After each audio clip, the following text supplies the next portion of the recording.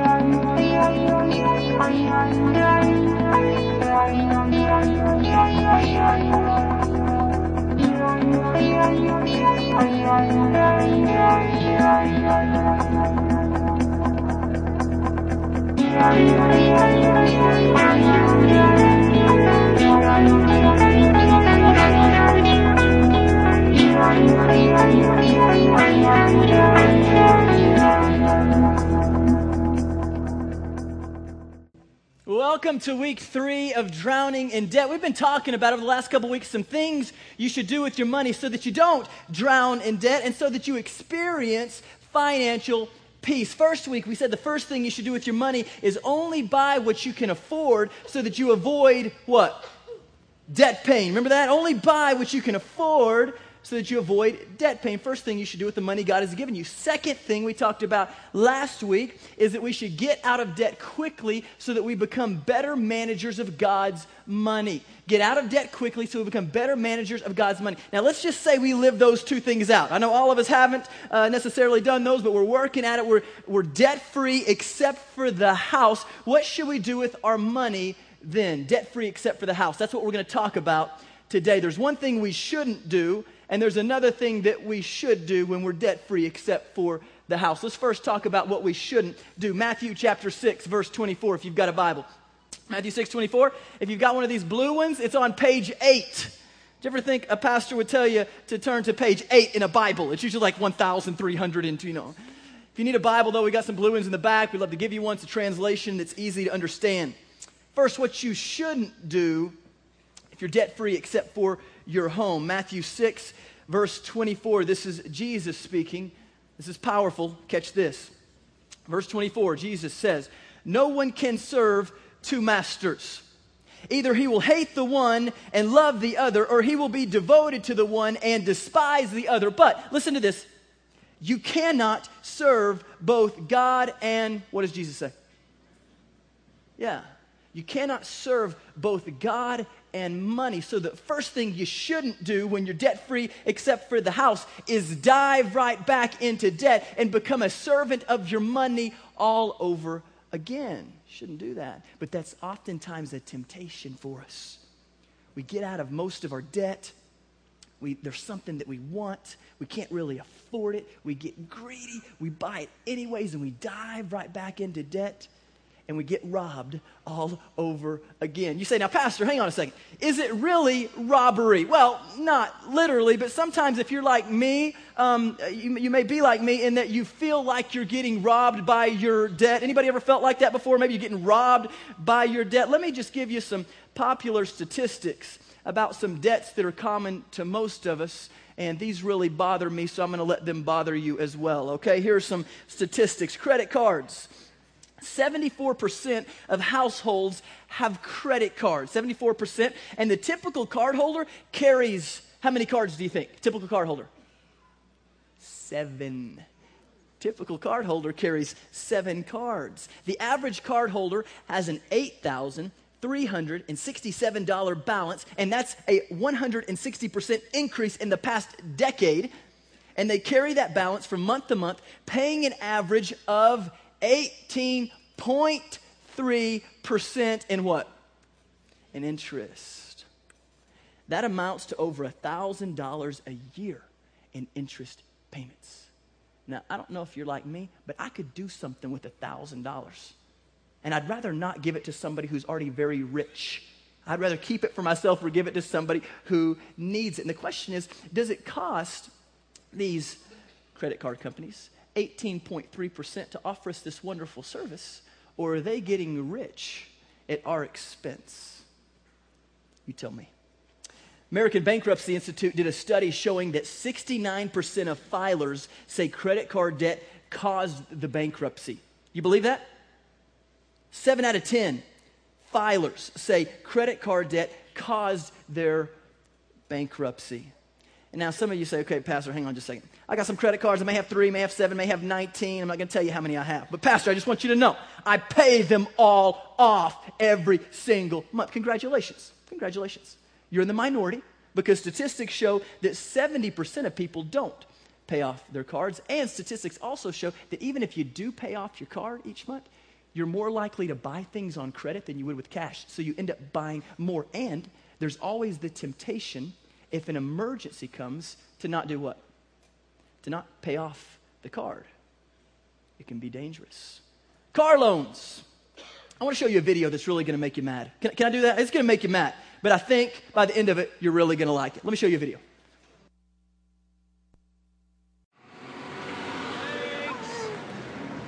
Americans, we love our cars, don't we? Where else on earth can we find a couple who is flat out broke, living paycheck to paycheck with two new cars in the driveway? Here's the problem. We've been conditioned to believe that we'll always have a car payment. The average price of a new car is $26,000, which means that many of the cars you see driving around are dragging behind a $464 car payment. And after about four years, the car that you just couldn't live without has lost about 70% of its value, and you have over a year's worth of payments left on it. So that means you could end up paying $33,000 for a car that's only worth $6,000. That sweet ride just doesn't seem so sweet anymore, does it? Well, that's okay because that's the normal way of thinking. We're going to try something just a little bit different. Let's say you now drive a nice, clean, much less expensive car, and you pay yourself the $464 each month. In just 10 months, you'll have $4,640. And if you add that amount to the $1,500 that your current car is worth, you can now pay cash for a $6,000 car. Now, in just 10 months, that's a major upgrade. And here's the best part you don't owe the bank a dime.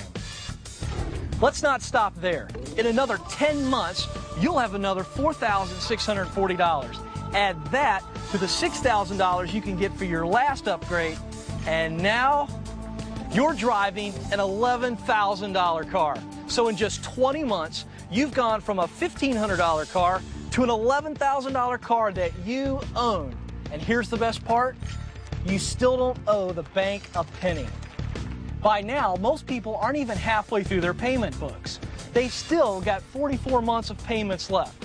So just for kicks, let's see what happens if you continue to pay the $464 that everyone else is paying to the bank to yourself and a good mutual fund over the next 44 months. When most people are making the last payment on that car that they just couldn't live without, a car that is now worth less than 30% of what they originally paid for, not only are you driving a great paid for car, but because of our new plan, you now have a mutual fund that you've earmarked as the Car Replacement Fund. Now, how much money do you have in that fund? Well, at the stock market average of 12%, you now have $26,000. Here's where things get really crazy. You can take $10,000 out of this fund and still have $16,000. Now, Let's add the $10,000 to the value of your current vehicle, and that's going to allow you to pay cash for a $12 to $17,000 vehicle. And at 12%, the $16,000 still in the fund will make enough interest for you to be able to do this every five years. Folks, that's free cars for life. That's what happens when you let your money work for you. You will never have a car payment the rest of your life. Financial Peace University. Learn how to beat debt, build wealth, and live like never before. Now, does anybody in here wish they would have seen that in high school? Come on, how many wish you would have just make you mad? Yeah, I'm telling you, even though the stock market isn't quite there right now, okay, you still save money to buy that car. Home loans. Everybody agrees that, that a home is a great investment, right? But if you finance that thing over 30 years, that low interest rate can really add up. Listen to this. If you buy a $150,000 home, you finance the 150,000 over 30 years at 6.5%. Listen, you end up paying $191,000 not total in interest.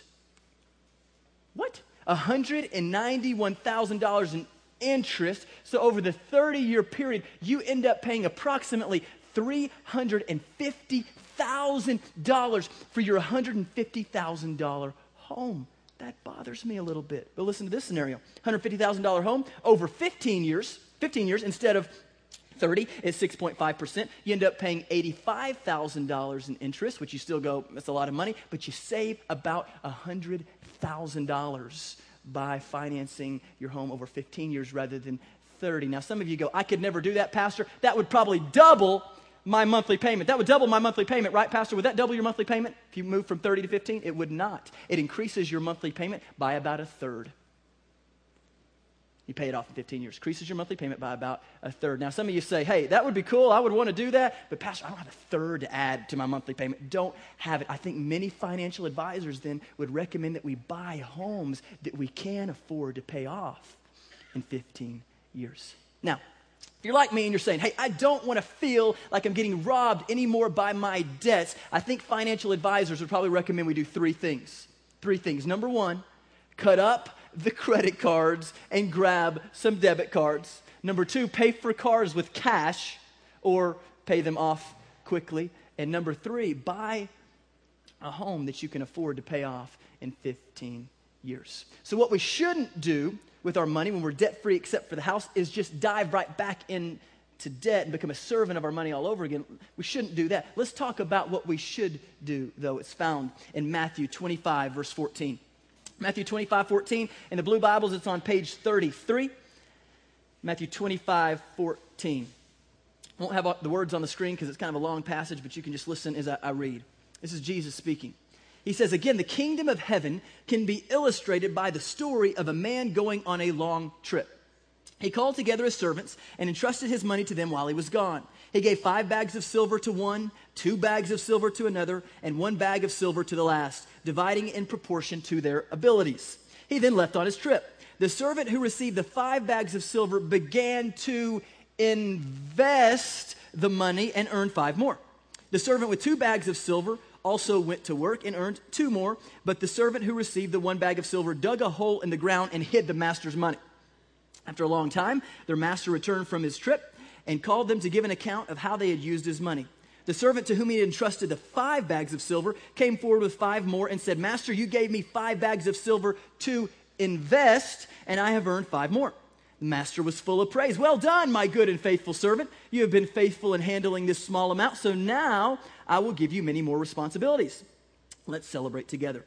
The servant who had received the two bags of silver came forward and said, Master, you gave me two bags of silver to invest, and I have earned two more. The master said, Well done, my good and faithful servant. You've been faithful in handling this small amount. So now I will give you many more responsibilities. Let's celebrate together. Then the servant with the one bag of silver came and said, Master, I knew you were a harsh man. Thanks harvesting crops you didn't plant and gathering crops you didn't cultivate. I was afraid I would lose your money, so I hid it in the earth. I hid it in the ground. Look, here's your money back. But the master replied, You wicked and lazy servant, you wasteful person. That's what he's saying. If you knew I harvested crops I didn't plant and gathered crops I didn't cultivate, why didn't you deposit my money in the bank? At least I could have gotten some interest on it. Then he ordered Take the money from this servant and give it to the one with 10 bags of silver. To those, here's the principle to those who use well what they are given, even more will be given, and they will have an abundance. But from those who do nothing, even what little they have will be taken away. So, what you should do with your money when you're debt free, except for the house, is save some and invest some and let your money work for you rather than against you. Invest, save. Notice in the parable, the, the master commended the first two servants because they did what with his money? What did they do? They invested it. They were wise managers of the master's money. But the third one, he rebuked and called him wicked and lazy. Why? Because he wasted the money. He wasted the master's money. But here's what's crazy. Check this out. The very beginning of the passage, listen to what Jesus said. He said, The kingdom of heaven can be illustrated like this. What's that, Jesus? The kingdom of heaven, he said, is a lot like this. God is the master. We are his servants, and he entrusts us with his money. We have two options. Either we can invest his money, being wise managers of that which he's given us, or we can do what with it? We can waste it. We can invest his money, that's what this parable is teaching, or we can uh, waste it. if we invest it, we'll be good stewards, good managers of his money. If we waste it, we won't be. Now, I think if we all had to be honest, I'm going to be honest here for a second, we would all say, you know, there have been times in our lives where we have wasted God's money. Not our money, God's money. And I know that for sure has happened to me on multiple occasions. Let me tell you about one. My wife and I first got married, about a year after we were married, we got, don't get jealous, we got a 20 thousand dollar inheritance check from one of Emily's relatives. And we were like, we just won the lottery jackpot! 20 grand. Can you spell partay? Because that's what we're gonna do. We're gonna have some fun with 20 grand. And so the thought kind of crossed our mind, hey, maybe we should pay off some debt. Maybe we should invest some, but that's for old people like 50 and gray hair. Some of y'all are like, I don't even like you, Pastor. Never did, all right? So we just thought, no, you do that later. You don't do that at 23, 24 years old. No, you don't pay off debt, invest. That's for crazy old people, all right? You don't do that. And so we thought, no, we just, we need to figure out a good way to spend this money. And so you'd think I'd learned from past lessons that I shared with you a couple weeks ago, but I had not. And so we went out and bought a what? A car another car story. You're like, oh my goodness. Yeah, we went out and bought a car. Cars have given me problems if you can't tell. Okay, and so bought, bought this car. So we pull 12 grand out of the 20 grand and we put the other 8 grand do we put it in savings no we put it in checking so we can use it if we need it right and so uh, so we got the 12 grand and we buy this car now we drive this car for about a year and we're liking this car but we're thinking we still got 8 grand we could spend. Think about what kind of souped up car we could get with $8,000 more. And so we took that 8000 back out and we sold that first car for 8000 taking a net loss of 4000 put the 8 on top of the 8 and bought a $16,000 car, still not having paid off any debt and now having zero dollars in savings but at least we looked good in our cars, right? I mean, we were looking, looking pretty good. Yeah, here's kind of what ended up happening. We have since then, we're still driving that car. We've taken, uh, it is depreciated some, and so we've taken a net loss out of that $20,000 inheritance check of about $10,000, and we're driving a car that's worth about $10,000, and it's continuing to depreciate. Now, question does that make us wise managers of God's money? As we look back in hindsight, we think not. Instead, what we probably should have done is we probably should have said, okay, we got this $20,000 inheritance check. Let's uh, pay off some debt, okay? Pay off my debt there. Let's uh, invest some. Let's save some, get an emergency fund going, all that kind of stuff. And then we can buy this car that we want with cash. But we said that's for old people. We're buying the car now. And we look back and go, mistake.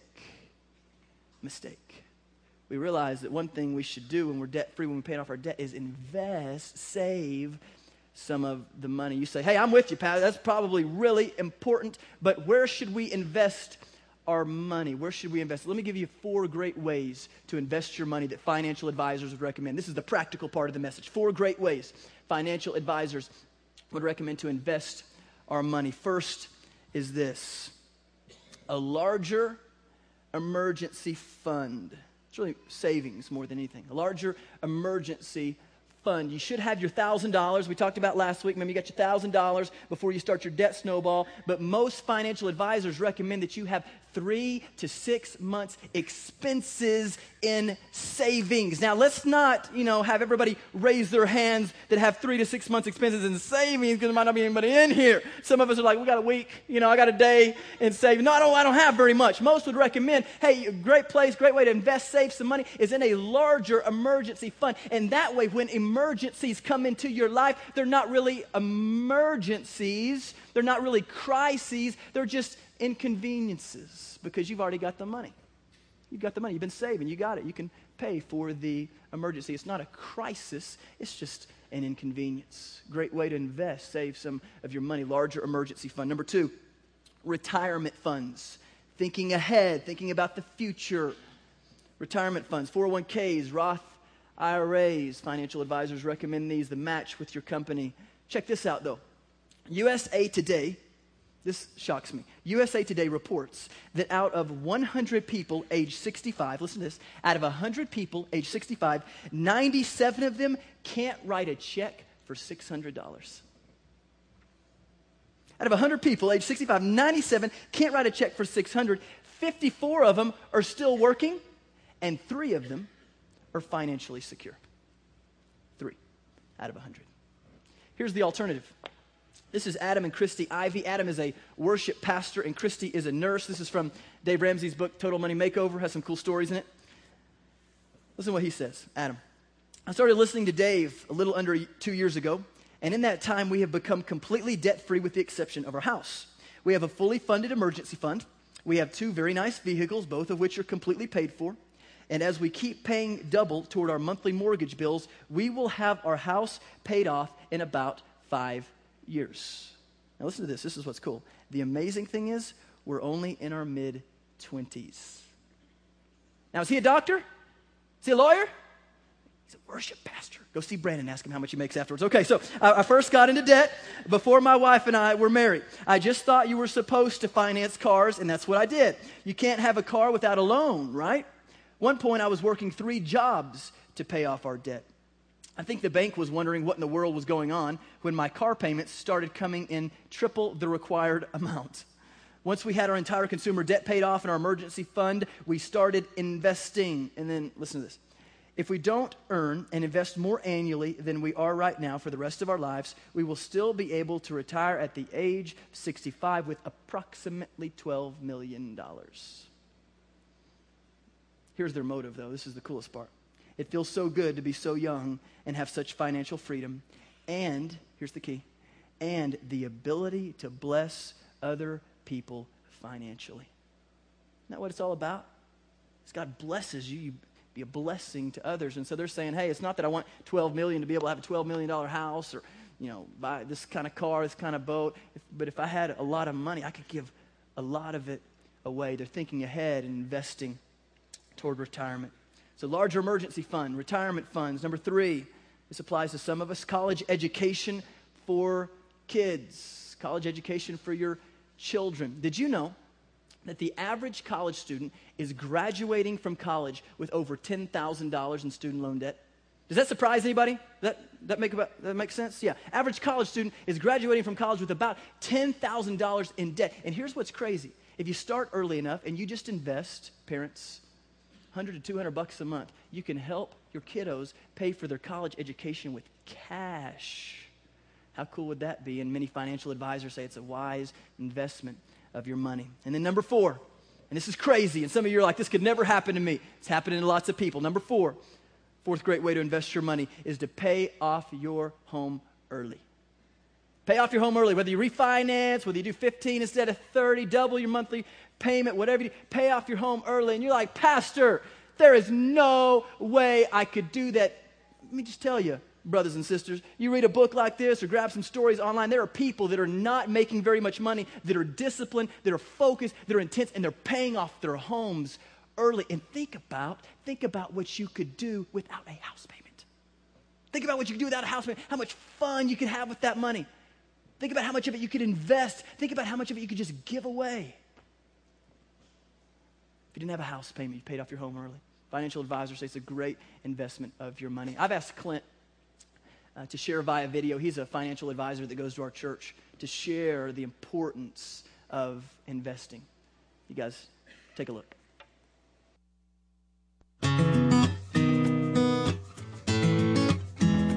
I graduated uh, with a civil engineering degree at Texas Tech. My wife graduated with a marketing degree. Um, and we quickly learned that we can make lots of money, but uh, the problem was we didn't know what to do with it. Uh, and the funny thing about that is you don't have to know anything about money to spend it. Fortunately, my wife, soon after we got married, uh, interviewed with a company that actually taught families about personal finance. I, I got excited when she told me about that because we had no idea what we were doing. And we basically were able to put our own plan together and uh, get educated, which was a huge thing that I'd never done before. We found out quickly we were spending too much money on debt. Uh, we were invested in the wrong types of things. Um, I had a 401k at work, but I don't know if anybody's like me. I got all my investment advice from the guy that was I was sitting next to at the meeting. Uh, so basically, I had 10 options on mutual funds, and I put 10% in every single one. Uh, realized uh, intentions were good, but uh, a terrible way uh, to invest. After we got our plan together, uh, it just a lot of stuff started happening. We started paying our debt. Uh, started saving a lot of money and interest in the long run, uh, get on track financially, uh, get on track for retirement. Um, it just really gave me and my wife common goal. Um, it's amazing when you have two people that, that, that know what's going on and they're on the same page, uh, you can get things a, a lot faster. Soon after we put our plan together, I started noticing that everybody that I knew was in the exact same position as me and my wife were. We didn't understand uh, anything about money. Um, and, and I took a hard look at that, and, and me and my wife started looking into how can we start helping educate uh, the people around us. Uh, last year, I, actually quit engineering. I decided I wasn't very passionate about that, but I was passionate about helping people. Uh, moved to Lubbock, and we started investing our lives into educating people about personal finance. The biggest thing I've learned uh, in, in, going full time in this in this uh, field is is you problems that people have is, is they fail to plan.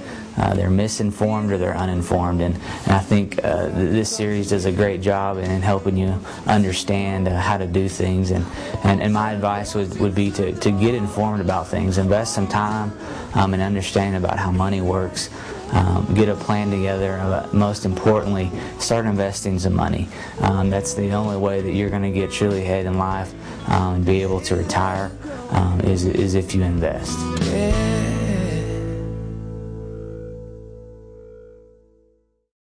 Got quite a few financial advisors that go to the church, and if you're hearing some of these messages going, hey, I want to get on the right track, but I need some extra help, let us know. And we'll hook you up with one of the financial advisors. Clint is just one of them. Big idea today is this on the back of your card. And this is the third thing we should do with the money God has given us. Let your money work for you rather than against you by investing. Let your money work for you rather than against you by investing. And once again in Matthew 6 24, Jesus said just so clearly, He said, You can't serve both God and money. You can't serve them both. And so the question I'd like to ask you today is who or what are you ultimately serving? Is it your money, and which is ultimately yourself, or is it the God who gave you that money? Who are you ultimately serving? The way you know that you're a servant of God is because there's been a point in time in your life where you were transformed by the Lord Jesus Christ, where you committed your life to Him and your life was different after that point, where you said, Jesus, I, I know there is no way I can get to heaven on my own. I know that. My good works aren't going to get, get me there. I can't, I can't buy a ticket to heaven. I, there's no way I can get there on my own. Jesus, I recognize the only way I can get to heaven is by trusting in you. Not something that I do, but something that you did for me, and me accepting that as being sufficient to save me from my sins. You had a time like that where you committed your life to Christ? If you haven't, that may be the decision you need to make today. And that makes you positionally a servant of God. Now, we all, believers and unbelievers, struggle sometimes with serving our money. We all struggle with that. But the question today is who do you ultimately serve? Is it God or is it yourself, your money? Who is it ultimately. And maybe if you've never committed your life to Christ, you're like many people, you're hoping that one day you've been good enough to make it. You know, that one day you've done enough good things, right things, that God's just going to say, hey, good enough, come on in. Standard for heaven's moral perfection. And remember, realize that. Moral perfection. You can't make it on your own. Neither can I. But that's why God sent Jesus. That's why He sent Jesus. Some of you today are here and you know you need to commit your lives to Christ. What keeps you from doing that today? and making sure you're a servant of God and headed for. But here's what I hope we all do leaving this place today is I hope we all say, God, we realize we can only serve you or money, and sometimes we're tempted to serve our money. But God, today, as for me and my household, as for me and my family, me and my spouse, me and my kids, God, today we're choosing to serve you. God, today we're choosing that we want to be wise managers of the money that you've given us. Today, God, we are going to serve you. Hope we all leave saying that. Question today, though, is who are you ultimately serving? Let's pray. God, I thank you for how relevant and how practical the scriptures are. And I thank you that Jesus talks a lot about money because he wants to help us know how to use the money to advance the kingdom, to glorify him. But Lord, I'm aware today that some people might say, hey, I realize I can only serve God or money, and I've never really served God before. I've really ultimately only served myself, and I've been trying hard to get to heaven and hoping that one day I'm going to get there because I've been good. But I guess I realize today I, I can't be good enough, and I need to trust in Jesus. If that's you here today. You know you've been trusting in yourself, not in the Lord Jesus, that you haven't committed your life to Christ. You can do that right now. You can make that decision right now. You can just say, Jesus, I know I'm a sinner. I know it. I'll admit I'm not perfect. No perfect people allowed in this place. And I know that uh, I can't get to heaven on my own. But Jesus, I believe you died for me 2,000 years ago. You rose from the dead, and you can forgive me and save me if I'll just ask. It's not about me doing something, it's about me deciding that I'm going to trust in you, Jesus. And I do that right now. Let this be my day in history. I'm committing my life to you. I receive that offer of forgiveness. I receive the gift of eternal life. I'm not trusting in myself or my good works to get me to heaven any longer. Jesus, I trust in you. You pray a prayer like that, it can change your life, change your eternity. Hope you'll let us know by checking on the back of your car that you're committing your life to Christ. Take it to the Welcome Center. We have a gift for you, or you can drop it in one of the connection card boxes. We'd like to know so we can pray for you. And God, for those of us that have committed our lives to Christ, we're tempted sometimes to serve our money. But God, we're just saying today corporately, we want to serve you. We want to be better managers of the money that you've given us. Help us to search the scriptures for wisdom to know how to spend the money that you've given us. And one thing we know we need to do is invest some of it, save some of it. Help us to do that starting today. We love you, Lord, and we thank you for this time. In Jesus' name, amen.